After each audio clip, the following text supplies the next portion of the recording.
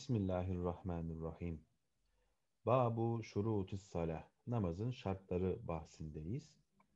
E, şurut, e, şartlar. Şart kelimesinin cemiyesidir. Şart nedir? Şart, terim ifadesiyle bir şeyin var olması için ihtiyaç duyduğu şey. Yani e, hem hariçte olacak hem de e, bu bahsetmiş olduğumuz şey kendisinden başka bir şeyin, başka bir yapının e, olmazsa olmazı olacak. E, şurada mesela şu ibarede, dipnot ibaresinde ve şer'an ma etevakkafu vücudu şey'i aleyhi bir şeyin varlığı için tabakkuf ettiği yani gerektiği şey, e, şeydir. Ve leyse dahilen fihi ve o var olması için bu e, ifadeye ihtiyaç duyan şeyin de içinde değildir. Mesela e, çok fazla terimsel oldu bu ifade. E, daha misalleştirecek olursak nedir bu? Yani mesela abdest. E, namazın olmazsa olmazıdır. Yani abdest olmazsa namaz olmaz. E, ve namazın içinde olan bir şey de değildir abdest. Namazın dışında olandır. O halde bizim ilmihal seviyesinde ezberlemiş olduğumuz e, namazın dışındaki farzlar, e, altı diye saymış olduğumuz dışındaki farzlar namazın şartlarıdır. Namazın içindeki farzlar diye bilmiş olduğumuz altı farz da namazın rüknüdür, erkanıdır. Şimdi hiye bu şartlardan biri nedir? Taharatu bedenil musalli. Namaz kılan kişinin bedeninin temiz olmasıdır. Min hadesin ve habesin. Hades abdestsizlik hali yani cünüp olma ve e, namaz, abdestinin olmaması halidir. Yani manevi e, necasettir, manevi bir pisliktir. Ve habesin e, necis olan şeylerden ve hadesten e, namaz kılan kişinin bedeninin temiz olmasıdır. Birinci şartımız. Ve savbihi ve mekanihi aynı şekilde kıyafetinin ve namaz kıldığı mekanın da temiz olması lazım. Mekandan e, kasıt nedir? Kişinin secde yaparken e, yerle temas eden ayakları, dizleri, elleri, alnı ve burnunun konmuş olduğu yerdir. Mesela kişinin bu saymış olduğumuz e, uzuvlarının temas ettiği yer temiz olsa ancak karın boşluğuna denk gelen kısım necis olsa e, bu durumda namaza mani bir şey olmaz bu durum. Yani bu hal namaza mani değildir. Çünkü yerle temas eden yer, e, uzuvların bulunduğu noktalar, o mahallerin temiz olması kafidir. Yani 6 metrekare halının bir ucunda namaz kılıyorsunuz. Namaz kıldığınız yer temiz. Diğer tarafı necasetse bu zarar vermez. Hatta tekrarlayalım. Ayağımı koyduğum, dizimi koyduğum yerde bir problem yok. Dizimle elimin arasında karnımın, göğsümün kaplayacağı alan yere temas etmiyor ama orası necaset. E, bu alandaki bulunan pisliğin namaza e, bir zararı olmayacaktır. Ve setru avretihi e, avretin örtülmesi de namazın şartlarındandır. Detayı gelecek birazdan. İstikbalül kıbleti kıbleye yönelmek de yine namazın şartlarındandır ve niyeti ve niyet de namazın şartlarındandır. E, burada bunlardan birisi olmazsa namaz e, başlamış olmaz. Yani namaz e, sahih olmaz. Bunlardan bir tanesi olmadığında namaz e, sahih bir şekilde başlamış olmaz. Çünkü şart neydi? Bir şeyin varlığının kendisine ihtiyaç duyduğu şeydi. E, bu durumda bunlardan e, herhangi birine namazın sahih olması ihtiyaç duyduğundan bunlardan bir tanesi olmadığında namaz olmayacaktır. Hemen tanımlardan e, ve avretur raculi diye e, erkeğin avret mahallini anlatacak. Ve avretur raculi min tahti surretihi ila tahti rukbetihi dedi. E, surre kelimesi diz, e, göbek deliği, rukbede diz kapağı ve avretur racul erkeğin avreti min tahti surratihi göbek deliğinin altından başlar. Demek ki göbek deliğinin altından başlıyorsa göbek deliği avret değil. Bu durumda ne oluyor? E, kişinin göbek deliği açıkta kalırsa bu caizdir, haram değildir. İla tahti rukbetihi diz kapağının altına kadar. Bu durumda diz kapağı nedir? Diğer mezheplerin hilafına Hanefilerde avretten sayılır. E, rukbenin yani diz kapağının avretten olduğuna, olduğuna dair e, Ebu Hanife Rahimahullah'ın rivayet ettiği bir hadis vardır. Şimdi burada e, namaz içerisinde ve namaz dışarısında avret diye biz daha doğrusu kadının avretinde bunu daha detaylı göreceğiz. E, şimdi setre avret, avretin örtülmesinin farz olmasında erkekte biz bu ölçüyü gördük. Vel emetu mislehu dedi. Eme yani cariye de mislehu erkek gibidir. Yani göbek deliği ile diz kapağının arasının örtülmesi lazımdır. Ma'a ziyadeti batniha ve zahriha. Aynı şekilde erkeğin bu ölçüsüne diz kapağı ile e, göbek, deliği arasıyla ziyade olarak karnı ve sırtını da e, namaz içerisindeki avretten saydı cariye için. Şimdi e, bu durumda e, başı açık, kolu açık, hatta gerdan dediğimiz boynun aşağı e, kısmının açık olması e, cariyenin namazına zarar verecek mi? Hayır vermeyecek. Neden peki? Çünkü e, örtülmek için kıyafet bulamayabilir. Ekseriyetle cariyeler, köleler e, hani fakr zarurat içerisinde bulunduklarından, ihtiyaçları efendileri tarafından pek görülmediğinden e, onlar bundan muaf tutulmuştur cariye konusunda. Hatta cariyeler örtünmezler de. O meşhur Hazreti Ömer radıyallahu anh'ın e, cilbap giyen, çarşaf giyen bir cariye gördüğünde sen azat mı olundun diye sorduğunda o cariye, o da hayır deyince işte Ümmü Selim annemizin cariyesini görüyor. O da hayır deyince o halde bu başörtüyü çıkar başından. Bu çünkü e, hür kadının alametidir örtünmek diyerekten ona müdahale ediyor. Çünkü cariye, yani şunu şöyle de anlayabiliyoruz o esnada. Yani cilbap hür kadının bir statü kıyafeti aynı zamanda tesettüre ek olarak da statü kıyafeti. Bununla ilgili e, mesela bir kıssa da şöyle ki e, mesela Osmanlı'nın son döneminde e, artık e, meşrutiyet döneminin sonları e, bir e, Hristiyan ehli kitaptan olan bir e, prensesimiz var. Yani saraya gelin olmuş ve kendisi açık giyiniyor. Beyoğlu tarafına e, alışverişe gidiyor. Yanında da bir Ermeni e, cariye hizmetkar var. Ermeni olan kişi çarşaf giyiniyor. E, yani demek ki artık herhalde Ortodoks olması gerekiyor. Bir çarşaf giyiniyor. Osmanlı gelini açık. Ancak e, Osmanlı toplumu açık kadının cariye, kapalı kadının hanımefendi olmasına alışık olduğu için e, mağaza sahibi paketleri açık bayana veriyor. Yani o Osmanlı gelini olan e, e, sultana veriyor. O da bunu görünce e, hizmetçisinin, kölesinin çarşaf giydiği için izzet gör, e, duyulduğunu, kendisine hürmet edildiğini görünce bir daha dışarıya çarşafsız çıkmıyor. O halde yani biz e, alem İslam topraklarına baktığımızda kapalı kadının hür olduğunu görüyorduk e, geçen asra kadar. Şimdi burada cariyenin e, tesettürünü tekrar konuşacak olursak e, namaz içerisinde e, cariye erkekler gibidir artı karnı ve sırtını örtülmesi gerekiyor. Bunun dışında yani kadın cariye olan kişi başı açık, gerdanı açık, kolu, omuzu açık namaz kılarsa namaza zarar verir mi? Hayır vermez. Peki hemen akla şu geliyor. Nasıl yani? Şimdi bir cariyenin e, böyle bir e, üstü açık e, giyinmesi durumu erkeklere bir e, şehvet daveti değil mi diye soruluyor hemen. Akla bu geliyor. Tabii e, şöyle bir algı var. Hani cariye dendiğinde e, bizim algımızda son bir asırdır Türk algısı, Türklerin cariye algısı e, dışarıda sanki böyle mankenlik ajansından çıkmış e, kadınların cariyelik yaptığı bir algı var ama böyle bir şey yok tabii ki de.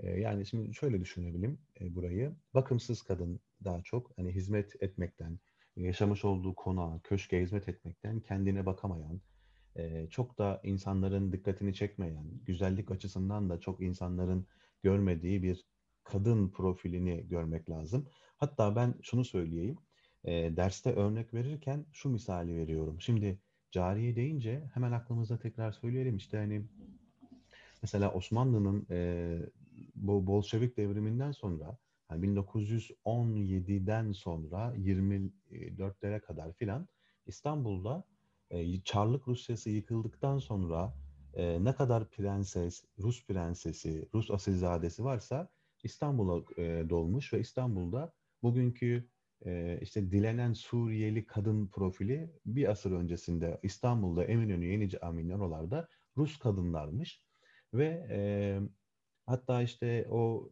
beyaz ırk güzelliğine karşı Türk kadınlarının Rus e, mültecilere karşı böyle bir kıskançlık da e, evresi başlamış. Bunu Batılaşma ya Batılılaşma adlı kitapta çok güzel işliyor bu noktayı.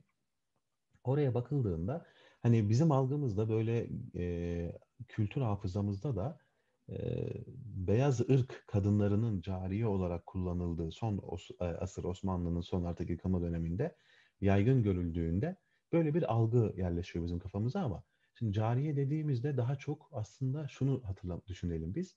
E, bazı kağıt toplayıcı kadınlar var. Artık ırkı önemli değil. İşte Afgan olur, Pakistan'da olur veya işte yerli Roman halkı olur hiç fark etmez.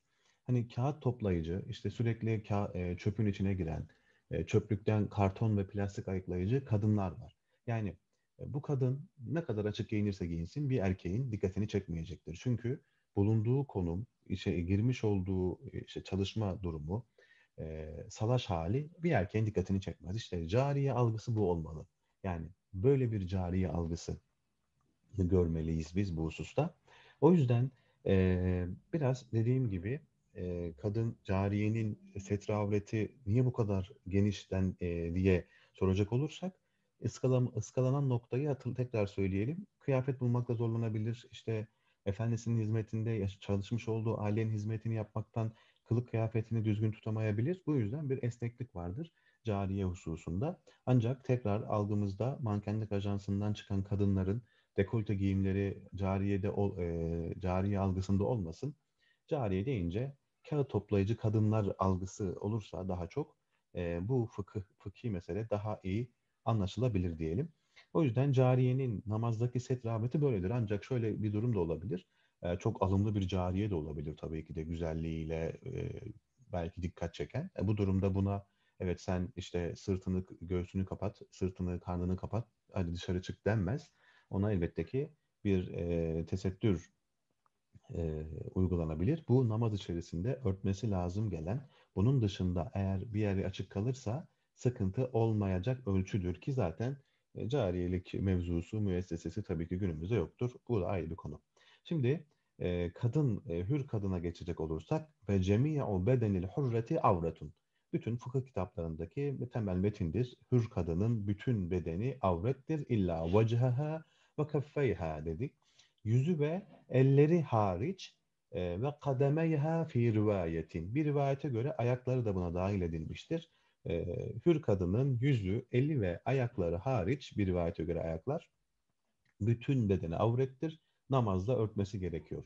Şimdi setre avreti bakın farkındaysanız e, Bab-ı Şurut-i Salah'ta okuduk. Namazın şartları bahsinde okuduk. Setre avret namazda ve namaz dışında diye iki başlıkla incelenmesi gerekiyor namaz içerisinde kadının yüzü aç, e, örtülmez. Yüzü avret değildir. Tamam. Eli avret değildir. Ayağı bir rivayete göre avret değildir. Şimdi bu iki maddeyi konuşalım. İbn Abidin rahimahullah kef, e, köffeyden maksat el içleridir der. Yani elinin içlerini örtmesi, el ayası dediğimiz noktayı örtmesi e, şart değildir. E, ancak elin dışı yani bilekten parmak uçlarına kadar, parmağa kadar daha doğrusu parmak boğumuna kadar olan yer elin dış kısmının örtülmesi gerektiğini, örtü altına tutulması gerektiğini söyler. Ve kademeyha fi rivayetin bir rivayete göre ayağı da avret değildir ifadesi var. Ancak burada yine İbn Abidin ayağın iç tarafının avret olup olmaması konusunda ihtilaf vardır. Ancak ayağın üst kısmının avret olduğu ya çorapla ya da çarşafın feracenin dökümü altında e, kalarak örtülmesi gerektiğini söyler. Burada vecehaha derken yüzü avret değildir derken namaz içindeki e, meseleyi biz konuşuyoruz. Yani namazdaki setraveti konuşuyoruz. Nimet-i İslam sahibi Mehmet Zihni Efendi der ki kadının yüzü avret değildir demek namaz dışında hatadır. Yani namazdayken yüzü avret değildir. Hatta işte peçeyle namaz kılmak mekruhtur ama namaz dışında yüzünü örtmesi lazımdır e, diyor. Hanefi mezhebinde böyle bir algı var. Yani kadının yüzü avret değildir. Tamam. Diğer mezheplerde avrettir, örtülmesi gerekir. Hanefilerde de hani fitne zamanında örtülmesi vaciptir. E, kadının yüzünün örtülmesi gerekir deniyor. Ancak bu fitne zamanının ne olduğu açıklanmıyor. Yani harp zamanı mı, işgal zamanı mı? Hayır. Fitne zamanı fukahanın tabirine göre insanların kalbinin bozulduğu zamandır yani günümüzdür. Yani artık bu günümüzde fitne zamanı değilse artık hangi zaman fitne zamanı olacaktır? E, tefsir sahibi Mehmet Vehbi Efendi şöyle söyler. Kadının bütün güzelliği yüzünde toplanmıştır. Yani kadının güzel olduğu yüzünden anlaşılır. bütün bedeni örtülüp de yüzü açılırsa ne fayda?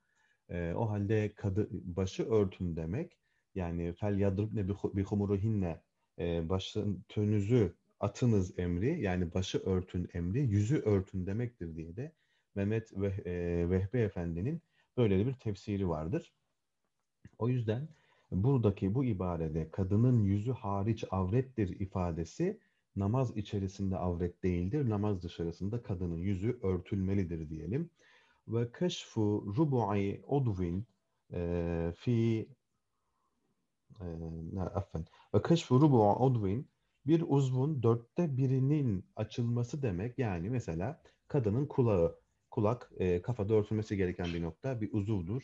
O halde kulağın dörtte biri veya işte sarkan saçın dörtte biri gibi düşünebilirsiniz veya boyun kısmının dörtte biri gibi uzvun yani örtülmesi gereken ve huve avratun avret olan ve örtülmesi gereken yani bir uzvun dörtte birinin açılması yemna'u e, namaza ba, e, manidir. Ne gibi? Kel batni karın gibi vel fakzi fakız uyluk dediğimiz yer ve sağ kaval e, kemiğinin olduğu kısım ve şa'riha en nazil kadının sarkan kısmı aynı şekilde. E, bunlardan birinin dörtte birinin açılması namaza manidir. Ve zekeruhu bin feridihi erkeğin tenasül uzvu e, aynı şekilde avret mahallidir. Ve uzvun dörtte biri açılırsa şayet yani çamaşırda bulunan bir yırtıktan ötürü dışarıdan görülürse bu da yine namaza mani olacaktır.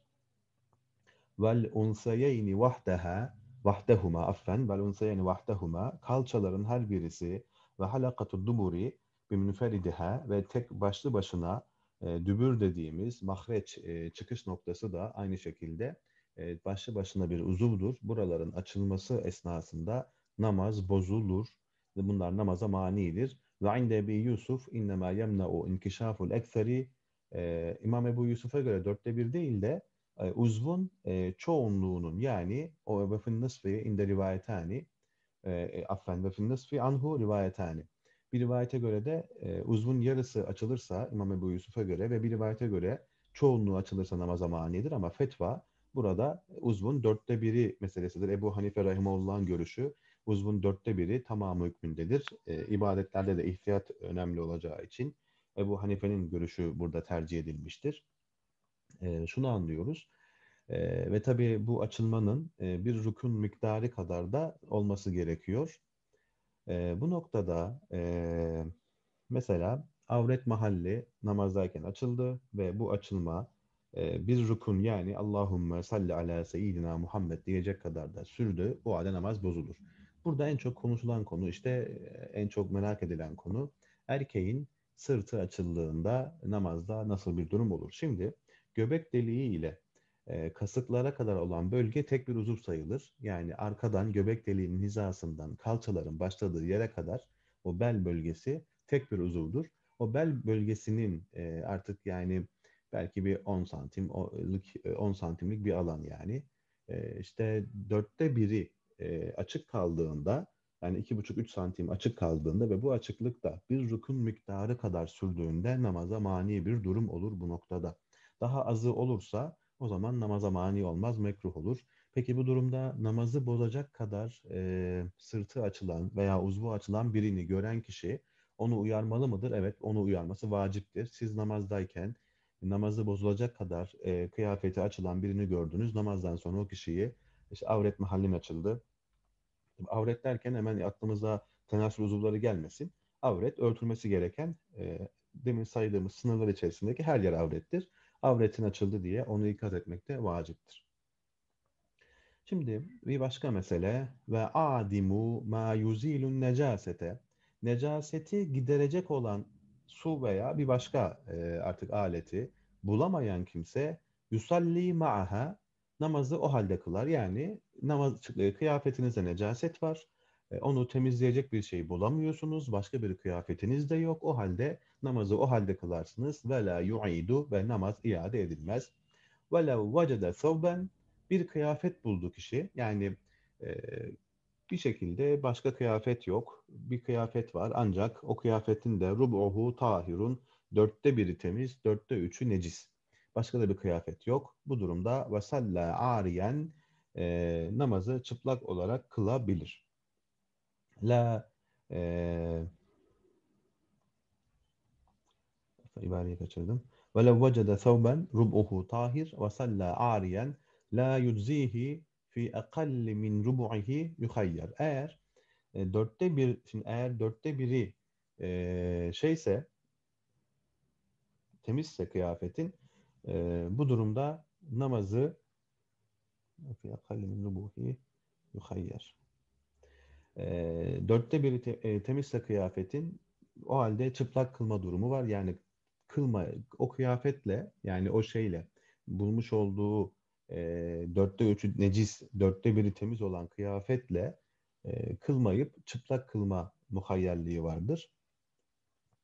Ve la yudzihi fi akalli min rubu'ihi eğer e, dörtte birden daha az ise temiz olan kısım yani dörtte üçünden daha fazla necaset varsa yuhayyaru bu halde muhayyer olur. İster o necis kıyafetle kılar, isterse çıplak olarak yani o kıyafeti giymeden kılar ama vel eftalu es-salatu bihi e, neces olan kıyafetle kılması daha faziletlidir.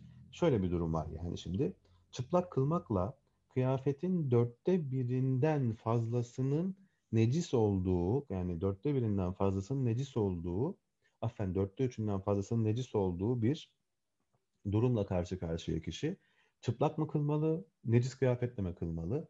Eğer e, dörtte biri temizse çıplak kılabilir. Ama ama e, eftal olan kıyafetle kılmasıdır. Çünkü e, çıp, tamamen çıplak kılmak mı, necis kılmak mı? İki tane ehven bir araya geldiğinde daha hafif olan necis kıyafetle kılmayı tercih eder. Çünkü aynı zamanda İmam Malik'in mezhebinde necis kıyafetle namaz kılmak caizdir. Yani necasetten taharet farz değil de sünnettir. E, diğer bir mezhepten de böyle bir kurtarır payı da olduğu için e, kirli de olsa, necis de olsa o kıyafetle namaz kılmak, çıplak kılmaktan daha eftaldir fetvaya göre. Ancak ve inde Muhammed, İmam Muhammed'e göre ise telzemu o necis kıyafetle kılması lazım gelir. Çıplak şekilde hiçbir şekilde kılamaz diyor. Ancak ve in lem yecid ma yesturu avretehu kişi avretini örtecek kadar bir kıyafet bulamadığında fesalla kaimen yani çıplak kılacak. Nasıl kılar peki? Fesalla kaimen bir ruku'in ve sucudin ayakta ruku ve secde yaparak namazı normal kıyafeti varmış gibi kılarsa caze caizdir. Ancak vel eftalu in yusalliye kaiden bi imain. Ancak eftal olan oturarak ima ile kılarak ayaklarını kıbleye doğru uzatıp avretini baldırlarıyla kapatacak şekilde e, abanması, kapanmasıyla kılması eftaldir. Tabi bu durum kendisini dışarıdan bir kimsenin görmediği bir noktadadır. Yoksa kendisini dışarıdan başkalarının göreceği bir ortamda namaz kılıyorsa ayakta namaz kılması tabi caiz olmayacaktır bu durumda. Ve kıbletu men bi Mekke'te Mekke'de olan kişinin yani Mekke'de olandan kastı e, kasıt Kabe'yi doğrudan görebilen kişiyi kastediyoruz. Ve kıbletu men bi Mekke'te aynul Kabe'ti. Kabe'nin ta kendisidir. Yani Kabe'de e, Kabe-i Muazzama'yı görebilecek bir pozisyonda namaz kılıyorsunuz. O halde Kabe'nin binasını ıskalayamazsınız. Doğrudan istikametinizin Kabe'nin binası olması lazım. Ve men ba'ude e, eğer e, uzaktaysanız veya Kabe'de, Mekke'de olsanız dahi binalardan ötürü ki bugün Mescidi Haram binasının dışında kıldığınızda Kabe'nin binasını dahi göremiyorsunuz. E bu durumda e, Kabe'nin e, görülmediği noktadaysa cihetüha binasının ciheti, yönü yani o yön kıble sayılır. E, fe in cehaleha ve lem yecid men yes'eluhu anha. Eğer kıblenin neresi olduğunu bilemezse kişi ve soracak bir kimseyi de bulamazsa bu durumda taharra araştırma yapar. Yani coğrafi bilgisine göre, genel kültürüne göre bulunduğu yerin konumunu tahmin ederek işte harita üzerinde Mekke'nin neresinde kaldığını tahminlerle, çıkarımlarla bir yön araştırmasına girer ve salla ve namazı öyle kılar. Ve fe in alime bi hataihi ba'daha ve namazı kıldıktan sonra yanlış yaptığını yani kıble diye döndüğü yönün yanlış olduğunu anlarsa ba'daha ama kıldıktan sonra la yu'idu iade etmez. Neden? Çünkü namaza durduğunda bu kişinin kıblenin neresi olduğunu araştırmadan sonra e, bir yer tayin edip o yöne doğru kıble burasıdır diye bir e, kesin ifadeyle veya zan ifadesiyle, zan kuvvetiyle bir inancı vardı ve istikbalül kıble, kıbleye yönelmeyi araştırmak vazifesi tamam gelmişti. Namaz bittikten sonra yanlış yere döndüğünü anlasa bile namazı iade etmesine gerek yok. Çünkü namaza durduğunda durduğu cihetin kıble olduğunu biliyordu. Öyle hesap etmişti.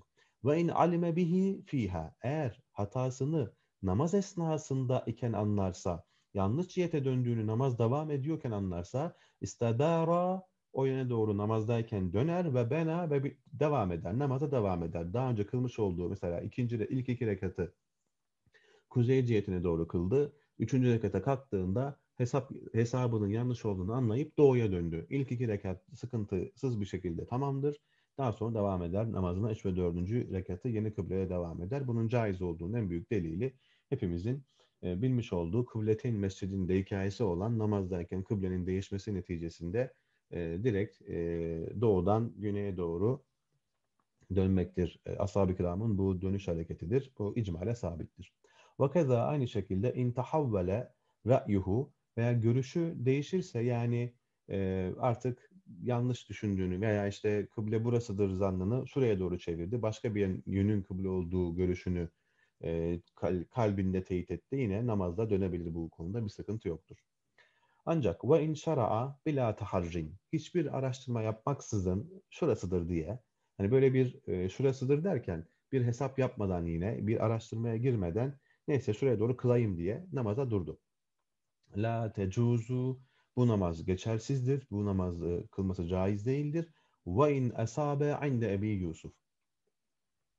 Ve in esabe e, yani tutturmuş olsa bile hani öylesine e, kıldığı yere namaz bittikten sonra aa doğruymuş ya bak e, işte salladım ama hani tuttu gibi bir mantıkla namazı kılmışsa do, tuttursa bile caiz değildir. Çünkü kıblenin o yön olduğunu bilmeden namaz kılmıştır. Ancak ve inde Ebi Yusuf e, in asabe cazet. Ancak İmam Ebu Yusuf'a göre tutturmuşsa caizdir. Namaza bir sıkıntı yoktur. Ve in taharra kavmun e, e, cihatin bir topluluk, birkaç kişi birkaç kıble yönünün birbirinden farklı olacağı şeklinde görüş ayrılığına vardılar diyelim. Beş kişi namaz kılıyorlar ve kıblenin neresi olduğunu herkes başka bir yer söyledi. Ve cehilu hale imamihim ancak şöyle ki burada durum şu. Önce bir şundan bahsedelim. Bir e, fotoğraf vardı. Zamanında çok yayılmıştı. Ormanda namaz kılan iki tane dayı. Birisi sağa birisi sola namaz, doğru namaz kılıyor işte. Yani bu fotoğraf işte İslam'ın parçalanmışlığı falan gibi paylaşılmıştı ama bu aslında İslam'ın içtihada, görüşe, herkesin kendi araştırmasının e, neticesine ulaştığı bilgiden sorumlu olduğunun bir ispatıdır. Diyelim ki kıblenin birisi doğu olduğunu, birisi güney olduğunu söylüyor. İkisi de e, net kararla noktaya varamıyor. Birbirini ikna edemiyorlar. O halde birisi güneye, birisi doğuya kadar birbirine uyamazlar. Bu öyle bir şey mümkün değil. Çünkü birbirlerinin içtihatlarını naks ediyorlar. Birbirlerinin içtihatlarını kabul etmiyorlar. Bu durumda herkes kendi e, bulduğu hesaba göre kıbleye yönelmiş olur. Biri diğerine uyamaz. Ancak şöyle ki e, karanlıkta namaz kılınacak diyelim. E, bir şekilde cemaat oluştu ancak birisi sağ olduğunu düşünüyor, biri sol olduğunu düşünüyor ve imamın yani karanlık olmasından ötürü veya çok izdiham var, çok kalabalık, araya bir şeyler girdi diyelim. İmamın nereye döndüğünü bilmiyorlar ve cehilu hale imamihim imamının nerede olduğunu, hani hangi yöne döndüğünü bilmeden e, karanlıkta birisi sağa birisi sola doğru döndü ve imama uydu bu durumda. Bu durumda cazet salatu men lam yutakaddemhu e, imamı geçmeyen yani imamın önünde namaza durmayan kişilerin namazı caizdir bihilafi men takaddemehu ancak e, görmediği için imamın önünde namaza duran kişinin ise namazı caiz olmayacaktır. Ev yahut da alime halehu ve imamın nereye döndüğünü, nerede durduğunu biliyor ve halefehu ve imamın duruş pozisyonuna e, veya e, kıble olarak durduğu yöne muhalefet ederek başka yerine dönüp ve onu geçerek bile bile namaz kıldı. Bu kişinin namazı yine kabul olmayacaktır ama bilmeden e, imamın döndüğü yeni yönün başka bir cihetine dönerse e, imamı geçmediği müddetçe yani imamın önüne geçmediği müddetçe namazı caiz idir.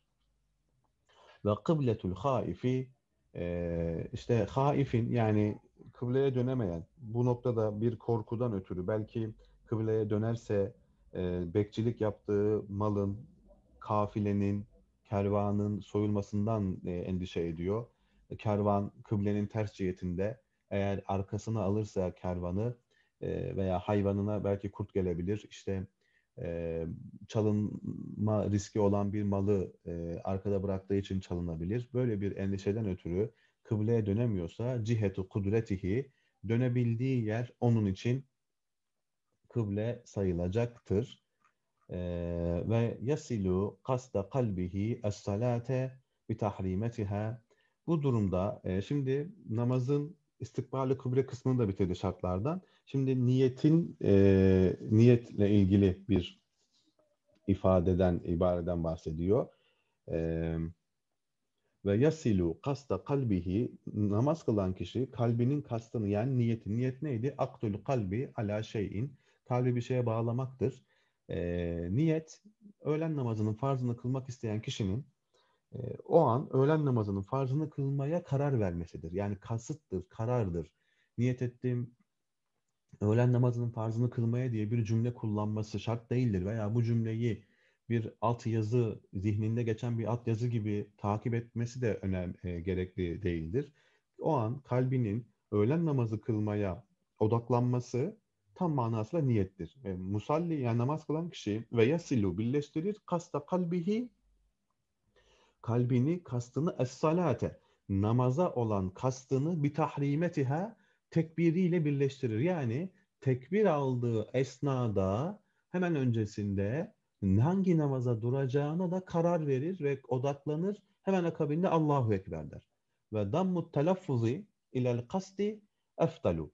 E, telaffuzu yani niyeti e, lafzan söylemeyi, açığa çıkarmayı, kalbinin o odaklanmasına ekleyen eklemekse eftalü eftaldir. Ancak burada e, mülteka sahibi eftal demişse de Hanefi mezhebinde eftal olan niyeti lafzen yapmamaktır. Ancak Ömer Nasuhi Efendi vesvesesi olan kişilerin yani niyet ettim mi etmedim mi namaz farz mı dedim sünnet mi dedim öğlen mi dedim ikindi mi dedim gibi vesveseden kurtulamayıp namaza odaklanamayan kişilerin e, telaffuzu, niyet telaffuzunu yapması eftaldir. Gayrısının yapmaması eftaldir diye böyle bir ayrıma gitmiştir ki doğru olan da budur.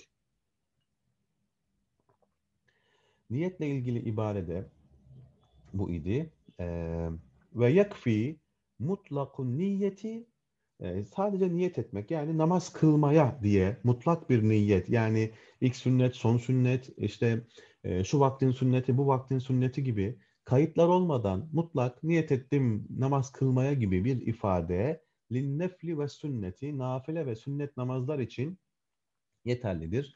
Ve teravihi fi sahihi sayıh olan görüşe göre terah, teravih de böyledir. Yani 20 rekat namaz kılacaksınız. Niyet ettim Allah için namaz kılmaya. Allahu Ekber. Bu namaz teravih namazıdır. Öğlen namazının farzından evvel namaz kılacaksınız. Niyet ettim namaz kılmaya Allahu Ekber dedik.